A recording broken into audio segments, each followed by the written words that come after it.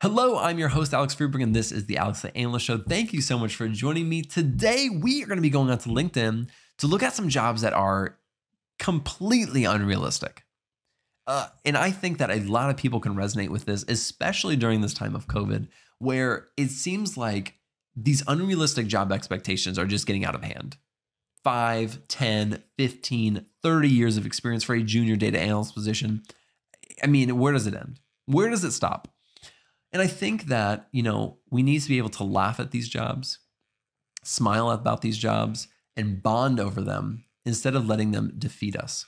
And so that is what we're going to be doing today. I am going to pull up real quickly my screen so that we can look at these together, walk through them, um, and help you identify what completely unrealistic job expectations looks like so that you do not fall victim um, to these. Uh, I'm going to pull up my screen really quick. I'm going to be using my fake account so that nobody can identify who I am. Um, let's go over to the very first job. This is a junior data analyst position in Kansas, Overland Park, Kansas. Um, and let's take a look at our very first job and let's just dive right into it. I got a few pulled up as you can tell. Um, and we're just going to walk through them and you know see what we got. So this one is a junior data analyst position and they are asking for two plus years as a junior data analyst or data analyst associate in an established organization. If it's unestablished, no can do. Now, here's my problem with this. If you have two plus years experience as a junior, sorry, my wife texted me, as a junior data analyst, don't you then think you would be a mid level data analyst? I mean, genuinely, am I wrong about this? Or is, the, is your is your career goal to really just be like a junior data analyst forever? Um, and it could be. I'm not. I'm not here to judge. I'm just saying it does not make sense. Like if I have two years of experience as a junior data analyst, I will not then go and look for another junior data analyst position. It does not make sense. Um, let's look at some of the things they're going to be using. Okay, SQL, Excel, business intelligence tools, um, CRMs, ERPs, Salesforce. Yeah, I mean, Everything else looks pretty normal. Um, and they're going to be working with people um, like software developers, data engineers, um, data analysts.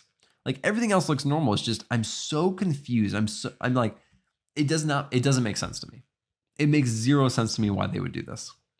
They're just like, you know what? Why would we give someone a chance when we could keep them at the exact same level that they're currently at? Why promote? that's that's not what we do here at Sunlighten. That's a terrible name. All right, let's go into our next job. Um, I I glanced at these again to find them, and so I already know this one, and I kind of I think I might apply to this job in a few years. Um, this is for the Air Force Nuclear Weapons Center at Hill Air Force Base, Ogden, Utah. Um, and you're going to be working with inter- intercontinental ballistic missile weapon system. I'm just going to stop right there and say, this is amazing. I want this job, but it is a junior data analyst position. And in order to get this, in order to get this job, you need nine years experience, or basically a combination of like five years experience with a bachelor's degree. Um, and you need top level security clearance to get there. And I mean, honestly, it's it is obscene, but at the same time, I like really want to apply to this job to see if I can get it because I will take I will take the hit and I'll take the junior data analyst position if I can like work on some ICBM stuff or some nuclear launch codes or some, I don't even know what they do. I mean, it's it's top secret. So uh, I thought this one was really interesting. So if you have nine years of experience and you want to work with ICBMs or some nuclear launch codes, this is your job. I think it's a very very small market. Let's see. They posted it four weeks ago and they still don't have 25 applicants. So I think I have a really good shot at this one. Uh, so, you know, if I can't do this show anymore in a few weeks, um, it's because the Air Force told me that it was a national security risk. That's the only reason I would stop doing this show. So, this next one is a junior data strategy analyst, and this was in Hawaii. Hello, that's what I'm talking about. Uh, in this role, you need a master's or bachelor's in computer science, um, one to seven years of experience in data strategy management, data analytics, and a, or data science role. Why one to seven years? If I, again, going back to the last job, if I had seven year, man, the one before, if I had seven years of experience, why would I be taking a junior role unless they are paying just really good money? Um, but let's look at some of the things that they want.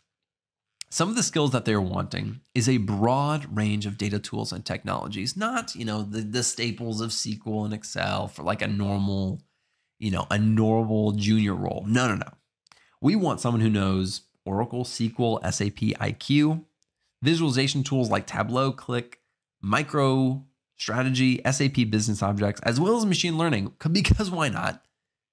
Why not just toss? Everyone's tossing machine learning in their job descriptions these days, just in case. We don't do machine learning, but why not?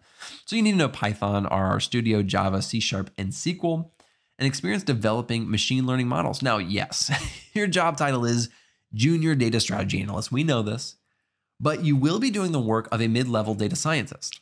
So be prepared for that um, and be prepared to not be paid for that, is basically what I'm saying. And US citizenship and security clearance. Oh, this one's a security clearance one as well. National Capital Contracting. Oh, this is, yeah, this is probably some military thing. Man, these military uh, job descriptions are insane. I would love to do some contracting for the military though. You, I may have to quit the show if that ever happened. Like if I went FBI, CIA, something like that, I'd do it. I'd do it though. Cause I'm just, I'm super curious and I'd love to do that. Anyways, I think that was another, um, I think that was another military one. I'm just going to throw that out there.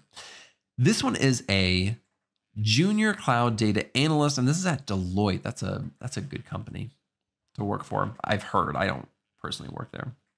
Some of your responsibilities are project planning, sure. Generate, design, develop.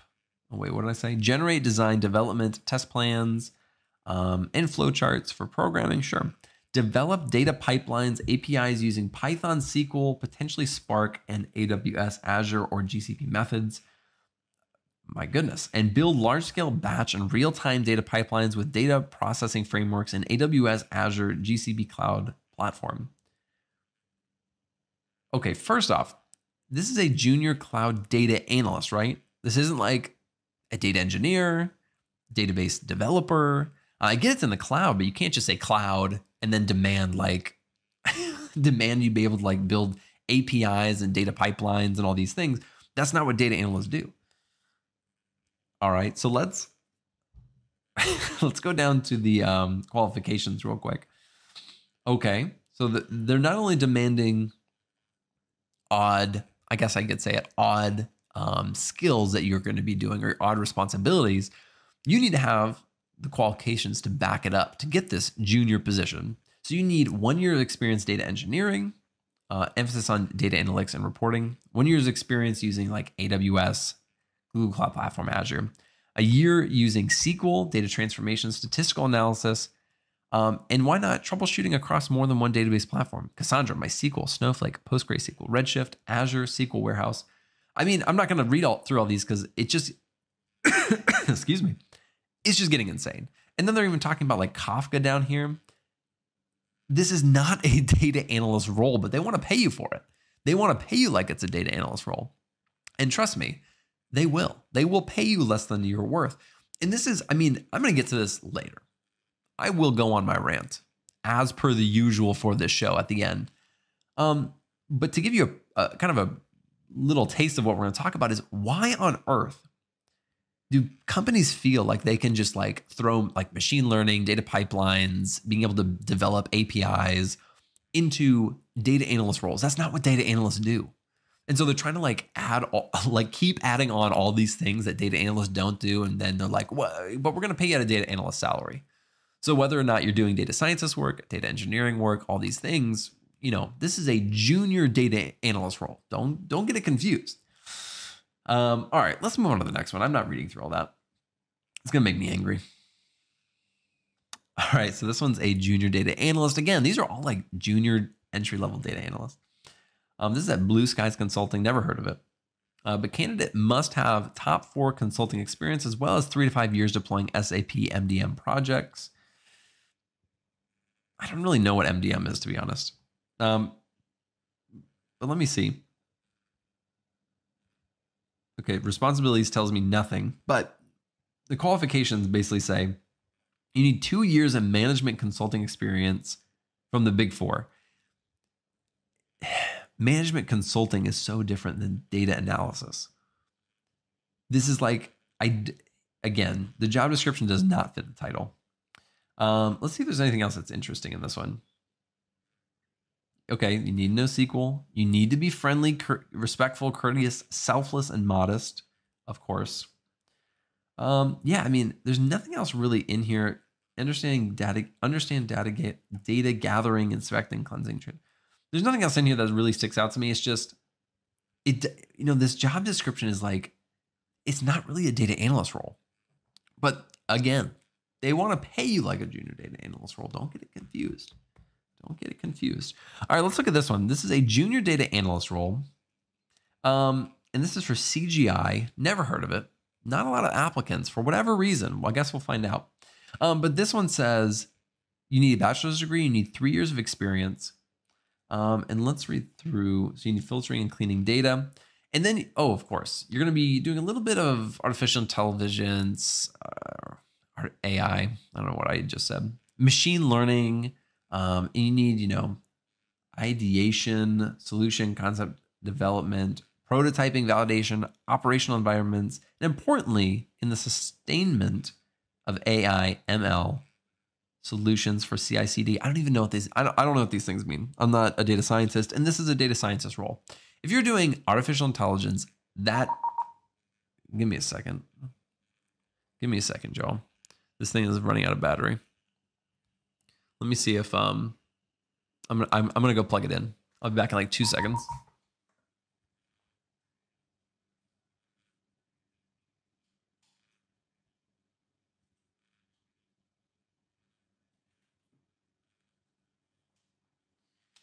All right, I'm back. Yeah, I know. It's not the most professional thing to, you know, go plug in your baby monitor during the middle of a show. That's just real life. And that's what this show's all about. It's just about real, real life. Uh, we have this baby monitor, and if it's plugged in, it works perfectly fine. But if I unplug it, it dies in like an hour. And that was an hour ago. And so now it's dying and trying to tell me that. And so that's all that was. Let's move on to the next one. Uh, and let's see what this one has. So this was an entry level data analyst. So entry level data analyst. Um, some type of maybe consulting group, some type of technology group in New Jersey. Um, let's look at the requirements real quick. They need to have analytical skills, sure. So they need to know MySQL, um, Excel. They need to know um, experience in MSBI, so SSRS, SSIS, SSAS. I don't even, I've never used SSAS. SQL Server, data warehousing, T, very strong in experience in T-SQL. Very strong. Not just know T-SQL. You need to know SQL store procedures, and then design data architectures. And then the daily things you're going to be doing is write T-SQL, ETL bulk insert into S- with SSIS, and a bachelor's and master's. Okay, so I was kind of on board for a little while until they started throwing in like very strong experience in T-SQL.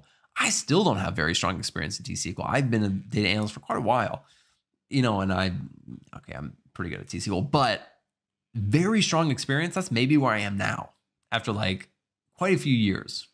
I would not expect that of, what is this? An entry level data analyst. And also, designing data architectures, there is a job called data architect who designs data architectures.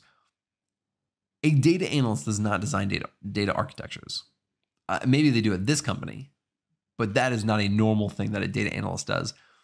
Again, they want to pay you a data analyst salary to do data architecture work, data engineering work, data scientist work. I'm going to stop because I'm about to talk about this in a little bit. All right. Here's the thing. Uh, it is almost laughable how ridiculous some of these jobs are. And let me tell you something. It was not hard to find these jobs. It took me maybe 10 minutes to find these jobs. I maybe looked at 30 jobs. And out of those, I found one, two, three, four, five, six, seven. Right. So that's almost a third. It's a little under a third. It's probably like 22%. Let's take a random guess. I don't know. I need a calculator. But that is, it's just like, I get it. You know, you're trying to get the best value for your money. Every company is doing that, especially during COVID, but it almost feels a little bit predatory, right? It's like, hey, there's a lot of data analysts out there who are down on their luck, who have lost jobs. Let's make the requirements really high so that those people who are mid level or senior level are now taking entry level data analyst positions. Um, that's how it feels, and that may that may not be the case. You know, this may be uh, this may be HR hit my mic.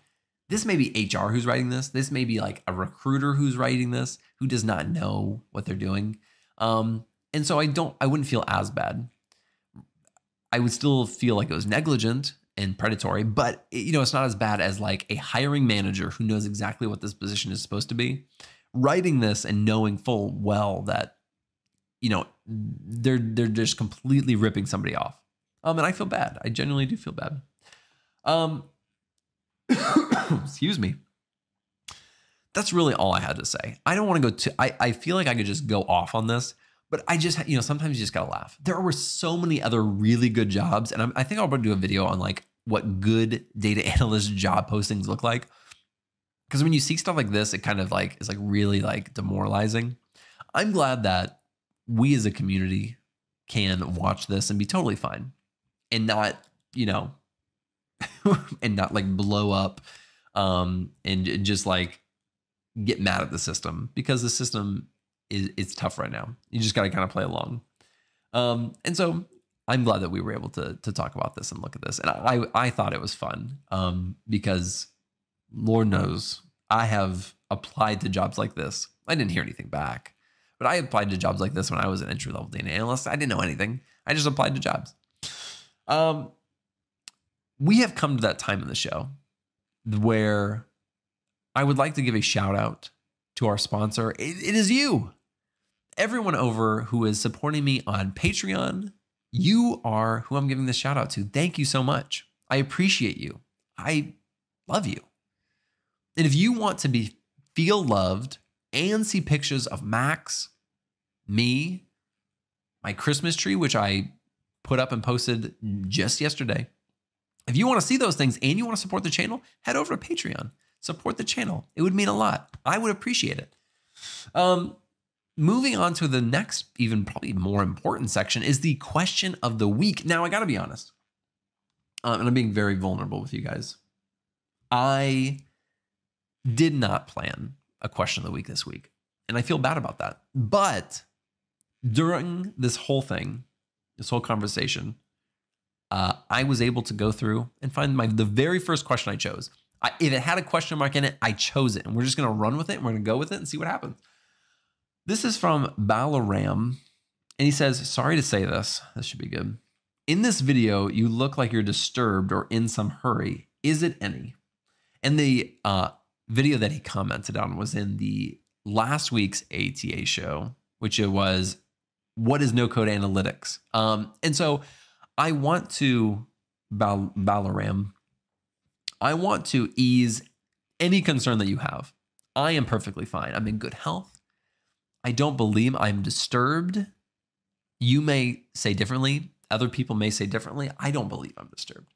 I got to be honest. The thing I think that he was thinking of is because I'm tired. Um, and I have just been perpetually tired for like the past two years. If you have kids, you know what I'm talking about. Um, and I do shoot these very late. As of now, it is 12:15. I started recording videos, prepping, doing all this extra stuff that I do before my videos around nine o'clock. So from nine to 12:15 now, I have been up doing this stuff. And on normal days, I'm up doing work, responding to YouTube stuff, um, like doing my day job work. I mean, so, you know, that may be what you're talking about. And I appreciate you being concerned because that's how I'm going to take it. I'm just going to take it at, that, that you were concerned about me. And I appreciate you being concerned about me. That means a lot. Um, now, even on to the what I would consider the best part of the entire show, which is the ending, uh, where, and I don't know how this started. Actually, I do know how this started, but I don't know why it's become so fun for me. I continue to do it time after time my wife tells me to stop. I don't care. You tell me to stop, I don't care. I have fun doing this. This is for me. It's not for you. This is for me to have fun. Uh, which brings us to the keyword of the week. And so this week's keyword, something that I personally don't like very much, but one of my favorite characters on my favorite show of all time loves, um, which is beets. And so if you watch all the way through, you watch through my ranting, you watch through me plugging in my charge over here for because it was starting to die, you'd comment below beets, B E E T S. This is not like rutabaga of last episode where I had you um, basically spell it blindly, right? I, I'm I'm to give this one to you. It's B E E T S.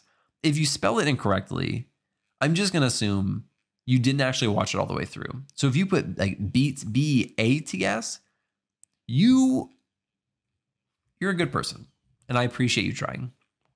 Um that is all I've got.